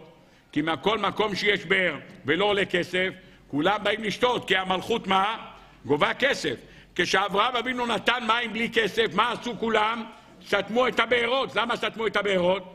כיוון שהוא מספק מים בלי כסף. חפר את הבור כדי שכולם ישתו. מה הוא רצה להרוויח? הוא רצה להרוויח שאנשים שבאים משם, מה הם יעשו? ישתו, יברכו, יש שם פליירים של הידברות, יש שם פליירים של ברוך יאמרו, יקראו את זה שם, וכולם יחזרו בתשובה. זה מה שהוא רצה. לכן ניקח פליירים של מתוק האור, ואת זה, זה כולם יקראו ויחזרו בתשובה, זה מה שהוא רצה. אמר באו הפלישתים, ראו א' כל שמה, שהמקום הזה הוא מקום להפצת תורה, ושתיים זה מקום שמקצץ את ההכנסות של המדינה, סתמו את הבארות. הבארות האלה, פירוש דבר, זה בארות שמה? שנותנים שפע לעולם כדי לגייר גרים. יצחק אבינו מה עשה? כשסתמו את הבארות האלה, מה סתמו את הבארות? מה הוא עשה? חפר את הבארות. מה זה חפר את הבארות? את אותן בארות של הפצת תורה של אברהם אבינו המשיך יצחק אבינו וקרא להם שמות כשמות שקרא להם אביו. הוא המשיך באותו מהלך שמה? אותו מהלך של אברהם אבינו. יעקב אבינו לא חפר שום באר. יעקב אבינו לא הלך לחפש בארות. למה? אומר יעקב אבינו, אני עד 63 ישבתי בישיבה, אחרי זה קיבלתי את הברכות, ברחתי לישיבת שם ועבר לעוד כמה? 14 שנה. הלכתי ללבן. רבותיי, בבית לבן יעקב אבינו נמצא כמה זמן? 20 שנה. שואל המשך חוכמה בפרשת וישלח, יעקב אבינו פעם אחת ניסה לשכנע את לבן להפסיק לעבוד לטרפים? פעם אחת. תגיד לו, אדון לובון, מה אתה מתעסק עם ג'ינג'י עם הגולגולת שלו? כתוב בפרקת רב לזר, הוא היה שוחט ג'ינג'ים, כך כתוב בפרקת רב לזר. היה לוקח בכור ג'ינג'י, שוחט אותו, ועושה גולגולת, שם בתוך הפה שלו טס והוא היה מדבר.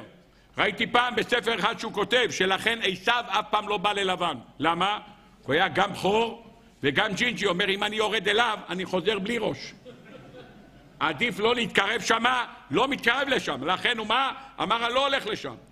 אדם משוגע, שוחט אנשים, שם אותם על הקירות, והיה אומר לו מה שעה, מה השער של הדולר, מה השער היציג. זה היה מורה שעות, היה אומר לו כל מיני דברים. הווייט של פעם, זה היה הטרפים האלה. היה אומר, תיסע מפה, תיסע מפה, זה מה שהיה אומר. פעם אחת, אומר המשך חוכמה, לא אמר יעקב אבינו למה?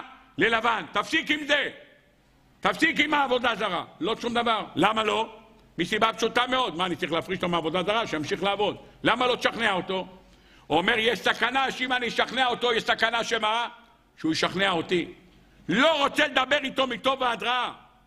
אומר לנו המשך חוכמה, רחל גנבה את הרפרפים. זה היה על דעת יעקב אבינו? לא. ולא ידע יעקב כי רחל גנבתם. הוא לא ידע. למה? כי יעקב היה בשיטה של מה? בדד אין יעקב. מה זה בדד? אנחנו מבודדים את עצמנו. אנחנו לא מתערבים בהם. את תנסה לחזור בתשובה, שיפסיקו לעבוד עבודה זרה. אומר הדרש משה לרב מוישה פיינשטיין, אין לך מצווה להפריש גוי מעבודה זרה. אין לך מפרצה. גוי שעובד עבודה זרה, להפריש אותו, אתה לא מצווה. למה? כתוב בתורה, הוכח תוכיח, גוי הוא לא נקרא בשם עמיתך. אומר הדרש משה, בוא תראה, מה אמרה נעמי לרות? מה היא אמרה לרות? מה היא אמרה? לכי תלמדי מעורפה. מה עשתה עורפה? היא שבה אל עמה ואל אלוהיה. מה תעשי את? שובי בחזרה אל עמך ואלוהיך, תחזרי בחזרה. שואל רב משה פיינשטיין, איך היא שולחת אותה לאלוהיה? איך היא שולחת? הוא אומר, זה לא עסק שלי, זה לא עסק שלי. אני לא מצווה להפריש גוי מעבודה זרה, זה לא עסקים שלי. לכן יעקב אבינו, היות והיו לו 12 ילדים, הוא גידל 12 ילדים בבית לבן, הוא לא נתן מילה אחת להחליף, לא עם לבן ולא עם הילדים שלו ולא עם המשפחה שלו. למה? כי הבחינה של יעקב, אתה יודע איך קוראים ליעקב אבינו? ליעקב אבינו קוראים בשם קדוש. איפה קוראים לו קדוש? כותב רבי דוד אבודרהם, הברכה הראשונה בתפילת עמידה, ברוך אתה השם, מגן אברהם, כנגד מי? אברהם אבינו. הברכה השנייה, מהי? ברוך אתה השם, מחיה, כנגד מי? יצחק אבינו, מה? שכב על המזבח, פרחה נשמתו, חזרה בחזרה. הברכה השלישית, אתה קדוש ושמך קדוש וקדושים בכל יום יעלוך סלע. כנגד מי? יעקב אבינו. מה השם של יעקב? נקרא קדוש. איפה? בתהילים כתוב, ואתה קדוש יושב, תהילות ישראל. זה יעקב אבינו. נאמר בישעיהו פרק כ"ט, והקדישו את קדוש יעקב ואת אלוקי ישראל יעריצו. בפרק מ"ג כתוב, קדוש ישראל מושיעך. יעקב אבינו נקרא בשם קדוש. מה זה קדוש? מופרש, מובדל. זה היסוד של יעקב אבינו. בדד אין יעקב, אין לנו שום קשר עם אומות העולם. אומר המשך חוכמה בפרשת וישלח, לכן הוא אמר, אברהם אבינו חיפש להפיץ שיטתו ודעותיו באלוקות לכל באי העולם, כאשר חשב כי הוא יחידי, ולכן מה? הוא ניסה להכניס את כולם תחת כנפי השכינה, ונטע אשל להכניס כל באי העולם לברית.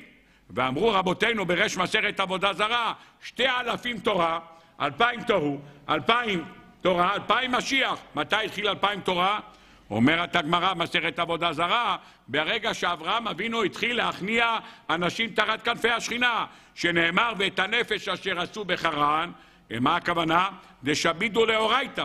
כותב הספר משך חוכמה, וגם זה היה בכוונתו של אברהם אבינו שהלך למצרים, מקום החוכמה והחרטומים, לפלפל ולקרבם לשיטותיו באחדות ובתורה. אלה הדברים של המשך חוכמה, לא כן יעקב. ראה שמיתתו שלמה, המיתה של יעקב אבינו שלמה. מאיפה אנחנו כתוב? היו בני יעקב 12, מיתתו שלמה. זה המידה של יעקב אבינו. מה? וכמו שהבטיחו הקדוש ברוך הוא, וראה שהשם ניצב עליו, ראה להפך כי בניו יהיו נפרדים מעמים אחרים, מוגבלים לתחום, ואף ללבן חותנו הניחו בטעות. הוא לא ניסה לשכנע אותו שיחזור בחזרה. וכעס על רחל שגנבה התרפים להבדילו מעבודה זרה. כן, במצרים היו יושבים בארץ גושן נפרדים מהעמים. למה? זה היסוד של יעקב אבינו. וכן לדורות באומה אין מקבלים גרים בימי דוד ושלמה, שזה כהכרח או למקנא לגדולתם. וזה מה שנאמר בגמרא במסכת יומא, ואותו דבר במדרש, שאברהם קיים עירוב תבשילין. מה זה עירוב תבשילין? להכניס אורחים ולקבל גרים תחת כנפי השכינה, אבל לא קבע תחומים. מי קבע תחומים? יעקב אבינו קבע תחומים. מה זה קבע תחומים? אמר עד כאן, אני לא מכניס אנשים. לכן אומרים חז"ל שיעקב אבינו שמר את השבת, שמה עשה? עשה עירוב תחומים, זה החלק שלו, זה החלק של יעקב אבינו שקבע תחומים. אברהם אבינו כתב מה עשה? עירוב תבשילין. עירוב תבשילין פירוש הדבר זה לצרף עוד אנשים. זה היה השוני שבין אברהם אבינו לבין, לבין יעקב אבינו. אומר המשך חוכמה, ההבדל ביניהם שיעקב היה בחינה של קדוש, מופרש, מובדל. אם אלה הדברים בסייעתא דשמיא, אומר מוישה פיינשטיין. לכן בא יעקב אבינו לפרעה ואומר לו, תשמע, אני לא מתכוון להשפיע עליך שאתה תתגייר, לא כמו שעשה אברהם אבינו, אומר המשך חוכמה. ירד למצרים כדי להשפיע עליהם, שיעזבו את העבודה זרה, ויעזבו את החומות, החוכמות החיצוניות, ויבוא עם אברהם אבינו. לא ככה הוא עשה. מה הוא עשה? הוא אמר שיעשו הגוי מה שהם רוצים. אני חייב לשמור על הפינה שלי, אני חייב לשמור על ה-12 ילדים שלי, שחס וחלילה אחד לא יחליק. איך עושים את זה? אחד שלא יצא החוצה, בדד אין יעקב, סגר את זה מכל הכיוונים, תחם את עצמו, שלא לערב את עצמו חס וחלילה עם אומות העולם. אלה הדברים שאומר הגאון רב מוישה פיינשטיין. לכן אומר רב מוישה פיינשטיין, אמר לו יעקב אבינו, אף על פי שבחיי הגשם יהיו לנו חיים לא קלים, עדיף להיות מה שנקרא תחת השלטון ולקבל תקציבים מעט ורעים. בחרתי את הדרך הזאת, למרות שאני יודע שהדרך הזאת תהיה קשה, דרך חתחתים. עדיף לי לסבול חיי חתחתים בלי קשר לשלטון. למה? רק כדי שעם ישראל לא יהפוך להיות מצרי, רחמנא ליצלן. אני לא הולך לשכנע אותך להתגייר, לא כמו שעשה אבא שלי, ואתה בבקשה אל תתערב לי ואל תיכנס לי. זה היסוד הגדול של אברהם אבינו, של יעקב אבינו, שהפריש את עצמו ואמר מעט מרעים, וזה הדבה שהוא הפריד את עצמו. בא סבא מקלם ועומד על פסוק שמופיע בפרשת ואתחנן. מה כתוב? וידעת כי השם אלוקיך הוא האלוקים הקל הנאמן, שומר הברית והחסד לאוהביו ולשומרי מצוותיו לאלף דור. אומר הרמב"ן, יש כאן שני זכירות. וידעת לשומרי מצוותיו זה זכירה לשכר. ואמר הוא משלם לשונאיו זה זכירה לעונש. אז יש כאן גם שכר וגם עונש. אומר הרב סבא מקלם בחוכמה ומוסר, איפה זה מופיע? במאמר רצ"ד, כותב הסבא מקלם דבר נפלא. ולאור דברי הרמב"ן, שיש כאן זכירה לשכר ולעונש, בואו נראה פסוק קודם. כי מאהבת השם אתכם ומשומרו את השבועה אשר נשבע לאבותיכם, הוציא השם אתכם ביד חזקה, ויבדך מבית עבדים מיד פרעה מלך מצרים. אז יש כאן שכר שהוציא את מצרים, ויש עונש למצרים שטבעו בים. בזכות מה? משומרו השבועה אשר נשבע לאבותיכם, מה עשיתם? כיוון ששמרתם על המצוות, לאוהביו ולשומרי מצוותיו. שואל הסבא מקלם, שומרי מצוותיו, איזה מצוות היה במצרים? רש"י מביא בפרשת, רש"י מביא בפרשת בו, מה כתוב שם בפרשת בו? ואת עירום בעריה. לא היה בידם מצוות להיגאל, נתן להם הקדוש ברוך הוא מה? דם פסח ודם מילה, אז לא היה להם מצוות להיגאל. אז מה אתה אומר לי לאוהביו ולשומרי מצוותיו, על איזה מצוות אתה מדבר? אומר הסבא מקלם, מוכרחים לומר שהמצוות המדוברות כאן, מדובר על מה? מדובר שלא שינו שמם ושלא שינו לשונם ולא שינו בגדיהם. אלה דברי הסבא מקלם. כותב הסבא מקלם, איזה מצוות מונח כאן? כותב לסבא מקלם דבר נפלא, דע לך, כי כל עת עבדותם, בשעה שעם ישראל היו שם במצרים, כל עת עבדותם, לא שינו את לשונם לדבר לשון מצרי, אלא דיברו לשון עברי, לשון אבי כל עבר, מבלי לדבר מצרית, ואת הבגדים מבלי לבוש בגדי מצרים, ולא שינו את שמם להיקרא כשמות המצרים, והכל לתכלית חיזוק ואומץ החינוך אשר קיבלו מאבותם, אבות העולם, אשר הכירו את בורם, כי הוא יחידי לבלתי להתערב במצרים ותאוותם. היאומן כי יסופר, כותב התמא מקלם, כי עבדים דחויים ובזויים עובדים עבודת בזויות בחומר ובלבנים לא יעשו ולא יגיעו לחדש כנשר את חינוכם ולעשות תמיד הפך ממעשה אדוניהם בשלושה עיקרי הדברים. מה? לשון, שם ובגדים. זאת אומרת שמה היה המצוות שלהם? לאוהביו ולשומרי מצוותיו. שומרי מצוותיו מה? שלא שינו שמם, לשונם, מלבושם. עד כאן הדברים. בא הגאון רב שלמה קלוגר בהגדה של פסח שלו, שנקראת מעשה ידי יוצר, ואומר דבר נפלא. לפני שאתה מגיע, ויהי שם לגוי גדול, מה הפסוק קודם? אומרת התורה, מופיע בהגדה של פסח, בשבעים נפש ירדו אבותיך מצרימה, ואתה שמך השם אלוקיך ככוכבי השמיים לרוב. ויהי שם לגוי, מלמד שהיו ישראל מצוינים שם. אומר רב שלוימה קלוגר, אתה יודע למה נהיינו לגוי גדול? איך הפכנו להיות לגוי גדול? רק בגלל שעם ישראל שם, במצרים, לא שינו את שמם ולשונם. אומר רב שלוימה קלוגר, אם אדם לא משנה את מלבושו ולשונו כאן בארץ ישראל, הוא אומר, אין בזה חגיגה גדולה. איפה החגיגה הגדולה? שאתה לא משנה את הלבוש שאתה נמצא במצרים, זה נתן לעם ישראל להיות במה? להיות במכתב של גוי גדול. כותב רב שלמה קלוגר, ואם מיעוט איזה אומה תתערב בתוך אומה שלמה, דרכן לעשות כמנהגם של אותו אומה. מגיעה משפחה לגור בגרמניה, הם מתחילים להתפגש כמו גרמנים. באים משפחה גרה לגור במקום מסוים, מתלבשים כמו תושבי המקום. אבל שתי אומות מסוימות, כיוון שכל אחד אומה בפני עצמה, יש לה רעים ואוהבים משלהם, אין הם נמשכים אחד אחר האומה האחרת. לכל אחד יש ביגוד משלו, לכל אחד יש שפה משלו ושמות משלו. אבל ישראל, לא רק שהיו גוי גדול לא נמשכו, גם בהיותם מתי מספר, בשבעים נפש ירדו אבותיך מצרימה. מה הם היו מול המיליונים שהיו במצרים? לא שינו שמם לשונם ולבושם, והיו ניכרים בהם. בעבור הזכות הזאת, שבמתי מעט ירדו למצרים בשבעים נפש, איך הם זכו להיות מה? לגוי גדול? בגלל שהם היו מצוינים שם, בגלל שהם היו מובדלים שם, שאדם מופרש זה הזכות הגדולה שמצאנו שם.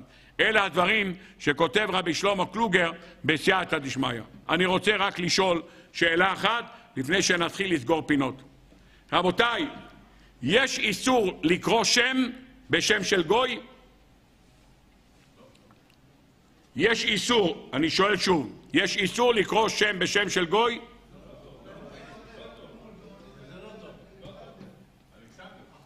אלכסנדר.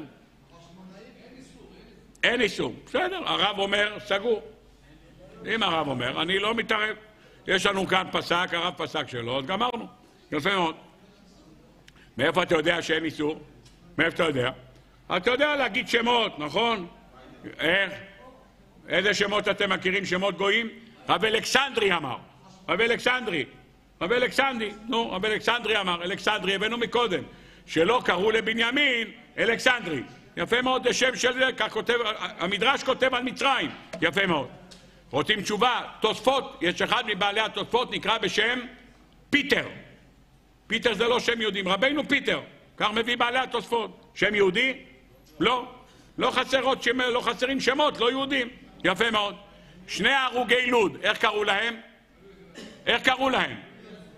איך קראו להם? לוליאנוס ופפוס. יפה מאוד. לוליאנוס זה פפוס. פפוס בן יהודה. מכירים אותו? פפוס זה לא שם של אברהם אבינו. לא, אברהם אבינו לא קראו לו פפוס. יש שמות של גויים. עם ישראל לא קרא בשמות של גויים. איפה זה ההלכה הזאת? איזה הלכה זאת? לא כתוב בשום מקום. אומר רבינו ברכיה, יצחק אבינו לא שינה את השמות וקרא את השמות שקרא אביו. יש הלכה כזאת בשולחן ערוך? לכאורה לא. יש הלכה בשולחן ערוך שאסור לדבר בשפת העמים? אה? לא. הנה, מותר לדבר בשפת העמים? כן. מותר, יפה מאוד. אז אין הלכה בשולחן ערוך שאסור לדבר בשפת העמים. יפה מאוד. יש שפה שנקראת אנגלית, ויש שפה שהיהודים דיברו אותה. מה דיברו בחוץ לארץ? איזה שפה? יידיש. יידיש זה לא לשון הקודש. זה מה מלושן, אבל זה לא לשון הקודש. אסור ללכת עם בגדי גוי, זה כתוב במפורש. זה כתוב. הראשון שזרק את הבגדים של הגויים, הבאנו מקודם, מי זה היה? יעקב אבינו, מה אמר? החליפו תלמותיכם, צריך להחליף את השמלות. למה? כי הם לקחו את זה מהשלל של שכם, ואמר לזרוק. לזרוק הסירו את אלוהי הנכר אשר בתוככם, ותזרקו את הבגדים. אסור ללכת בבגד של גוי, זה ודאי. תשובות, ראיות, הרבה. כאשר גויים הולכים בשרוך מסוים, ויש גזירה על שרוך, אומרת הגמרא במסכת במסכת סנדרין דף ע"ד, מה צריך לעשות? מה צריך לעשות? למסור את הנפש גם על מה? על ארקתא דמסנא. מה זה ארקתא דמסנא? שרוך שנעל. אומר רש"י, שהנוכרים דרכם לקשור כך, ודרך ישראל לעשות בדרך אחרת, ולכן מה? לכן דרך עם ישראל הולכים בדרך אחרת, מצווה עלינו לא לעשות את הדבר הזה שעושים הגויים. פירוש הדבר שיש לנו מצווה לא ללכת בבגדים של גויים. אומר הנביא בספר צפניה, והיה ביום זבח השם ופקדתי על השרים ועל בני המלך ועל כל הלובשים מלבוש נוכרי, מלבושים של גויים. אומר הרד"ק בשם רבי אברהם שאסור ללבוש בגדי הגויים. רבותיי, אם ככה אני רוצה לשאול שאלה. אין איסור לשנות שמות. אין איסור, על שם של רשע אסור לקרוא, זה כתוב. לא לקרוא על שם של רשע. אבל לשנות שם של גוי, לא כתוב. לא כתוב לכאורה. לא נעים, יותר טוב שתקרא, יש לך אבות הקדושים, למה צריך לקרוא על שם של גוי? אבל לכאורה אין איסור בדבר הזה. אין איסור גם לדבר בשפה של גוי. אז מה העניין הזה שעם ישראל שלא שינה שמו, לשונו ומלבושו? אז מילא מלבוש אתה אומר, למדנו מיעקב אבינו. אבל כאן איפה אתה מצאת את הדבר הזה? כותב המהר"ל גבורות השם, פרק מ"ג, מה? מה שלקחו מהמצרים? כן, אז כתוב שהקדוש ברוך הוא ציווה לקחת שלל. אז הוא ציווה, אז לקחו. אבל כתוב שם במפרשים שהבגדים האלה היו בשביל הילדים הקטנים. למה בשביל הילדים הקטנים?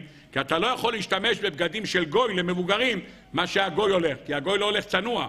אז לקחו את הבגדים האלה בשביל הילדים הקטנים, כי מה שלובשים המבוגרים אצל המצרים, לובשים הקטנים אצל היהודים, כדי שיהיה צנוע. טוב, נפלא ביותר.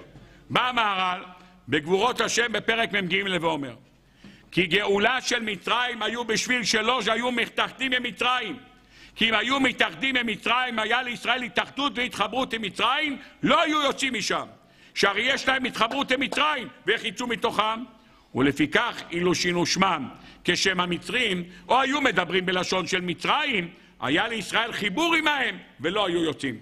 ולכן שלא דיברו לשון הרע, ולא היו פרוצים באריות, כי אם חס וחלילה היו מגלים להם סודות, לשון הרע זה סוד, מה אומרת הגמרא? שנה שלמה הם ידעו את ההלכה הזאת של שאל איש מאת רעהו ואישה מאת רעותה, ואף אחד לא סיפר שום דבר. אז הם היו גדורים בלשון. ברגע שאתה מתחיל לגלות למישהו סודות, אז מה קורה? אתה הופך להיות חלק ממנו. באריות גם אותו דבר, כי היו מגלים סוד, את הסוד והפנימיות שלהם. ואם היו מתאחדים בהם, שוב לא יכלו לצאת. ומכל שכן, אם היו פרוצים מאריות להתערב עם מצרים, זה קרוב יותר להתאחדות עמהם, להזדווג עמהם. ובזכות ארבעה הדברים האלה, שלא שינו שמם ולשונם, ולא היו פרוצים מאריות ולא דיברו לשון הרע, אלו ארבעה דברים. מהעניין הראשון, שלא היה בהם שינוי. אומר המהר"ל כמו חולה, שאם משתנה טיבו לגמרי, יום, אין אפשרות שיצא מזה. אם אתה שומע מהרופא, רחמנא ליצלן, יש קריסת מערכות, הלב לא עובד, הכליות לא עובד, הכבד לא עובד, המוח הפסיק לעבוד, גמרנו. אבל אם הוא אומר לך שמה, רק דבר אחד, האם רק דבר אחד, יש סיכוי שיחזור בחזרה לבריאותו. אבל אם דבר שהשתנה לגמרי בחולה, לא היה אפשר שיהיה חוזר אל בריאותו. שאין לו לא התחלה, הוא לא ישוב אל בריאותו. אבל בוודאי יש בחולה כוח טבע שנשאר שלא השתנה, ומאותו הטבע יחזור בריאותו. אם הלב עובד בסדר, או שהכליות עובדים בסדר, אז אם הלב אחד לא בואש, דבר אחד זה שיכול לחזור. השינוי שבשם ובלשון היית נדבק אצלהם ולא יכול לצאת החוצה. עד כאן הדברים. אתה רוצה לראות מה עושה בגד? בוא נראה רש"י אחד. אומר רש"י פרשת חוקת וישמע הכנעני מלך ערד יושב הנגב כי בא ישראל דרך האתרים וילחם בישראל ואיש ממנו שבי. מה אומר שם רש"י? יושב הנגב מי זה? עמלק אומר הרש"י, שנאמר עמלק יושב בארץ הנגב ושינה את לשונו לדבר בלשון כנען כדי שיהיו ישראל מתפללים להשם לתת הכנענים בידם והם אינם כנענים. עם ישראל היה רואה שמה שמדברים כנענית, ידברו בכנענית, והם אינם כנענים.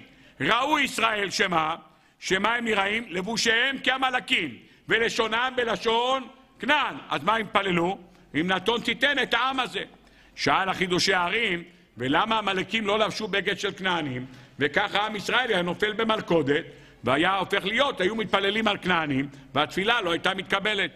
אמר החידושי הערים, אם היו משנים את לבושיהם, מה היה קורה? היו כולם כנענים במציאות. אם אתה משנה גם את הלשון וגם את הבגד, אתה הופך להיות כנעני. למדנו מכאן שלשון ובגד הופך אותך להיות כנעני. אותו דבר מביא רש"י גם בדברי הימים, דברי הימים ב', פרק כ', ויהי אחרי כן באו בני מואב ובני עמון ועמהם מהמונים על יהושפט למלחמה. אומר רש"י זה עמלק, ולמה נקראו המונים? לפי ששינה כסותו ולשונו כהמונים, ונתערב בהם, הוא בא להילחם בישראל. פירוש הדבר, ברגע שאדם משנה את הלשון שלו ואת הבגד שלו, הופך להיות כמו אותו אומה. עד כאן הדברים. בעזרת השם, בסייעתא דשמיא, הגענו אל הסיום, ואני רוצה בעזרת השם לעמוד כאן על נקודה נפלאה. בא הספר מסילות בלבבם, אני אומר רק את השאלה שלו, ונאמר תשובה נפלאה של המשך חוכמה. רבותיי, יש כאן דבר שהוא פלא. למה פלא? עם ישראל במצרים כולם עובדי עבודה זרה, חוץ משבט לוי. כולם עובדי עבודה זרה. עם ישראל במצרים כולם ערלים. עם ישראל כולם מגדלי בלוריות, כך כתוב בחז"ל. אמר השר של מצרים מה? מה אמר? הללו מגדלי בלוריות, הללו מגדלי חיות, הללו ערלים, הללו ערלים, הללו עובדי עבודה זרה, הללו עובדי עבודה זרה. רבותיי, אני רוצה לשאול שאלה פשוטה מאוד. איך היה נראה יהודי במצרים? לא שינה שמו, לא שינה לשונו, לא שינה מלבושו. אז איך הוא היה נראה? איך הוא היה נראה? יהודי. איך נראה יהודי? אתה רוצה לצייר יהודי, איך אתה מצייר יהודי? עם כובע טמבל? כובע טמבל? לא. איך אתה מצייר יהודי? שטריימל. שטריימל גדול, נכון? שטריימל גדול. שטריימל גדול, ברוך השם רחב, אתה רוצה כזה של ספודיק של גור, אתה רוצה כזה גדול, היום יש כזה גדול שנראה כמו ספודיק. מלא קוצים יוצאים מזה, נראה אנטנות כזה גדולים. יפה מאוד, בראבו. אז יש לך שטריימל גדול. בקיצ'ה יש גם, נכון? פרחוני, בקיצ'ה. אתם יודעים מה זה בקיצ'ה? כזה בגד ארוך, יפה, פרחוני של שבת. גרקל, אתם גם יודעים מזה, יפה מאוד. גרביים לבנות, אתם גם יודעים, נכון? יפה, יפה מאוד. אז איך נראה יהודי? ככה נראה יהודי. איך נראה? זקן, פאות מסוצלות, נכון? שטריימל גבוה, בקיצ'ה, והכל בסדר, כך הוא נראה. איך הוא נראה היהודי הזה? עם כל השמונה בגודים, אבל הראל. עם כל השמונה בגודים, אבל מה? עם עורלה. עם כל השמונה בגודים, עם בלורית. כאלה בלוריות. ומה? הוא פוגש כבש, אז מה הוא עושה? משתחווה עם הספודיק. רואה כבש, מה הוא עושה? האלוהים של מצרים. מה זה האלוהים של מצרים? מה זה? כבש. אז מה הוא עושה?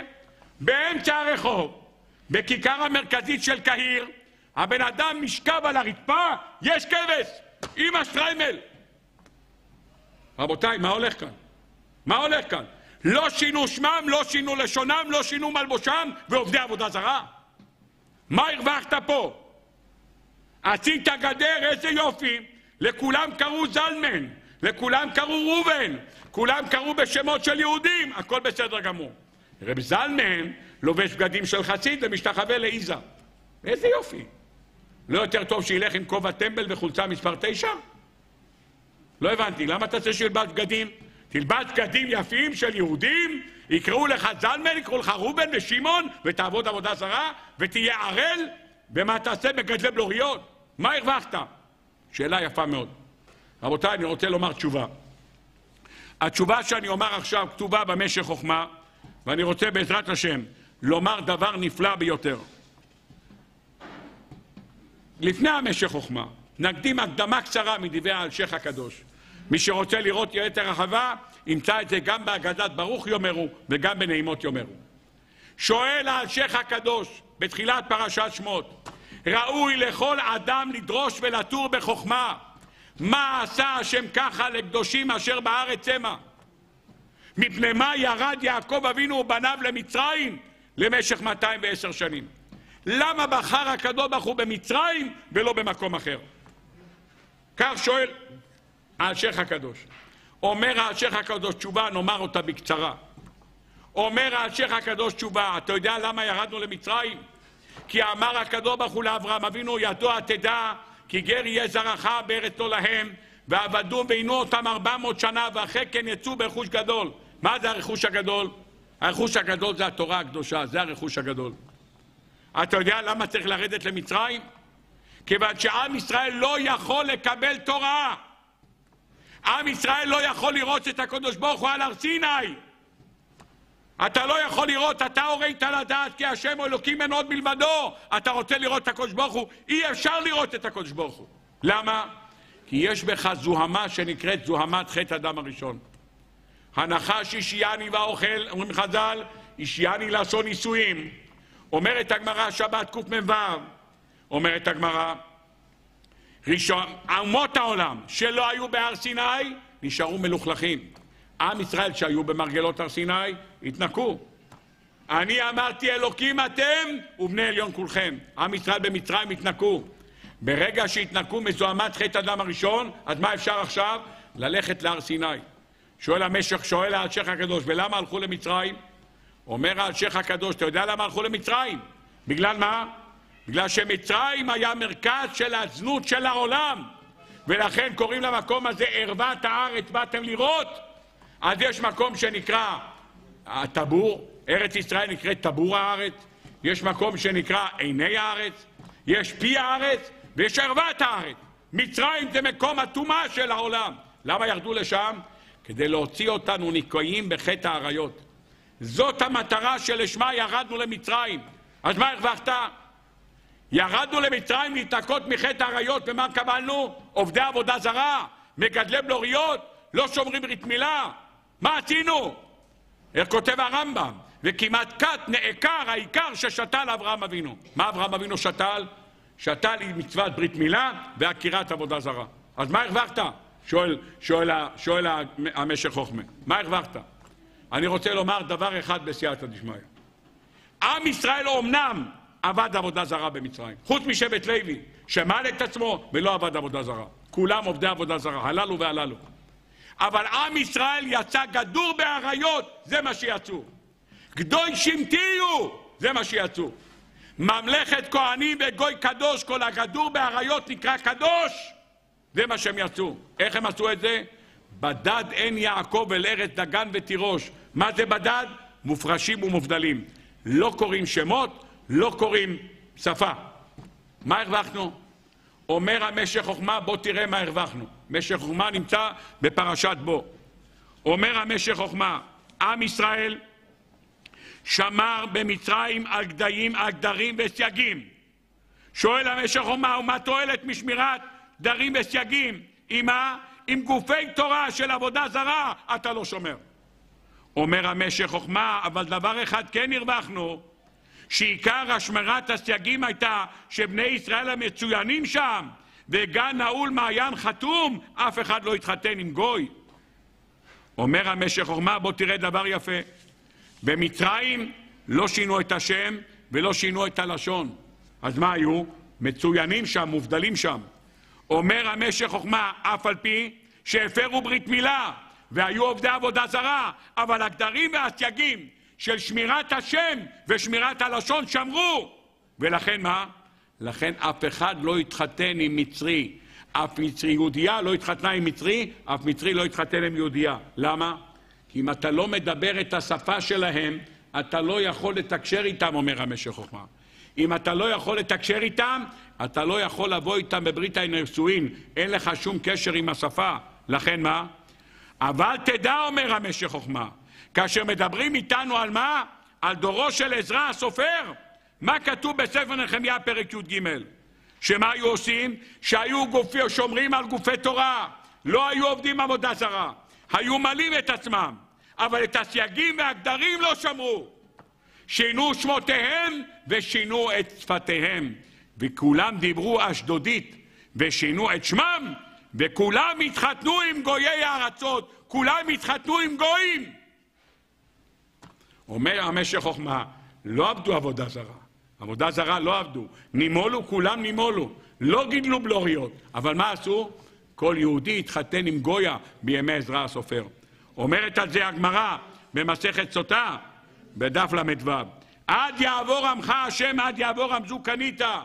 ראויים היו ישראל לעשות להם נס בימי עזרא, כדרך שנעשה להם בביאה ראשונה. הכוונה במה?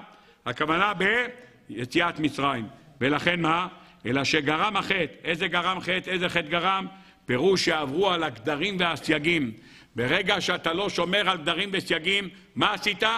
התחברת איתם, התחתנת איתם. אחד שמתחתן עם גוי, נגמר הסיפור שלו. מה הרווחנו? היו עובדי עבודה זרה. רבותיי, בואו תראה דבר פלא. כשאברהם אבינו שולח את אליעזר, מה הוא אומר לו? לא תיקח אישה לבני מבנות הכנעני, אשר אני יושב בקרבו. לאיפה תלך? כי אם אל ארצי ואל מולדתי תלך. מה יש בארצך ובמולדתך? מה יש שם? מה יש שם? כולם עובדי עבודה זרה. מתחילה עובדי עבודה זרה היו אבותינו, כך אמרנו לפני שבועיים בליל הסדר. כולם עובדי הזרה. מי עבודה זרה? תרח, אבי אברהם ואבי נחור. כל הילדים שם בחרן, מה? כולם עובדי עבודה זרה. מגיע אליעזר עם עשרה גמלים, הגמלים לא מוכנים להיכנס הביתה. למה לא נכנסים הביתה? למה? למה? כי יש שם עבודה זרה בתוך הבית. לבן רואה את כל הגמלים בחוץ, מה הוא אומר, ל... מה הוא אומר לאליעזר? ואנוכי פיניתי הבית ומקום לגמלים. מה זה פיניתי הבית? ממה פינית? מעבודה זרה. זרק את כל העבודה זרה מהבית כדי להכניס את הגמלים. לא הבנתי, אתה עובד עבודה זרה? למה זרקת את זה? מה התשובה? הוא עובד עבודה זרה כדי שיהיה כסף. למה הוא עובד עבודה זרה? מתפלל לעבודה זרה, שיביא לו כסף. אם הגיע הכסף בעצמו, אז אפשר לשחרר אותו לחל"ת. זרק אותו מהבית. סימן שמה? אומר אברהם אבינו, אני מעדיף שתלך למשפחתי, למרות שהם עובדי עבודה זרה, כי זה אפשר לשנות. אברהם אבינו היה מבית של עובדי עבודה זרה, ותראה מה יצא, אבי האומה הישראלית. בתחילה עובדי עבודה זרה היו אבותינו, ועכשיו תראה מה יצא מאיתנו. יתרו, החותן של משה, נותן התורה. מה היה? אתה ידעתי כי גדול השם מכל האלוהים. אין עבודה זרה אחת שהוא לא עבד, עד שהאמין בקדוש ברוך הוא. זה יתרו. פירוש הדבר שברגע אחד אתה יכול להתנתק מעבודה זרה ולדבוק. עם ישראל עבד עבודה זרה עד איזה תאריך? י' בחודש ניסן. בי' בחודש ניסן, מה אמר הקדוש ברוך הוא? משכו וקחו לכם. משכו לכם צאן לעבודת הפסח, משכו ידיכם מעבודה זרה וקחו לכם צאן. וברגע אחד מושכני אחריך נרוצה. ברגע אחד עם ישראל נתן ביתה לכל העבודה זרה, ללמד אותך שהעבודה זרה הזאת הייתה חיצונית. אבל אם חס וחלילה היינו מתערבים בתוך מצרים, היינו במצב כזה ששקועים לא במ"ט שערי טומא, אלא נופלים לשער הנון של שערי טומאה. מה גדר אותנו שלא ליפול בשער הנון? שלא שינו שמם, שלא שינו לשונם, שלא שינו מלבושם. קדושים תהיו, קדושים תהיו. במה תהיה קדוש? עם ישראל לא מצווה שלא לשנות את שמו. עם ישראל לא מצווה שלא לשנות את לשונו. קדושים תהיו, קדש עצמך גם, ומותר לך. מותר לשנות את השם, מותר לשנות את השפה. מה הם עשו? קדושים תהיו, הפרישו את עצמם, גם מן השפה, וגם מן הלשון, וגם מן הבגדים. מה הם זכו? ואתם תהיו לי ממלכת כהנים וגוי קדוש. פרשת קדושים שפותחת לנו את מעמד הר סיני השני, שמעמד הר סיני חוזר על עצמו בפרשת השבוע, דבר אל כל הדת בני ישראל. מה הפתיחה? כמו ואתם תהיו לי ממלכת כהנים וגוי קדוש, פרשת קדושים זו הפרשה שכל אחד ואחד צריך לקדש את עצמו במותר לו, זה הפרשה שלנו. יזכנו הקדוש ברוך הוא בעזרת השם, שנהיינו כולנו קדושים ונכין את עצמנו כולנו לעבודת השם לקראת מתן תורה, ונהיה קדושים לקבל את התורה ונזכה להיות, ואתם תהיו לי ממלכת כהנים וגוי קדוש. וחניה בן הקשה אומר, רצה הקדוש